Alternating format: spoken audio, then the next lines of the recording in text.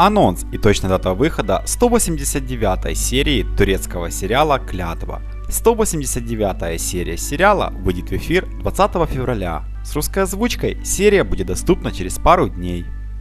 Напомним, в предыдущей серии мы увидели, как Рейхан очень сильно любит свою сестру, и ради нее она готова на все.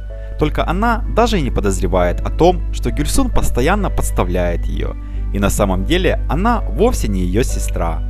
Джавидан придумала жестокий план, и осуществить она его намерена с помощью Гульсун.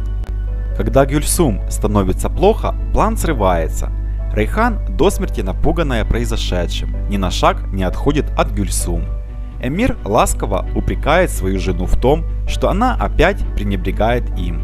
Откажется ли Джавидан от своего грандиозного плана, который с первой же попытки был провален?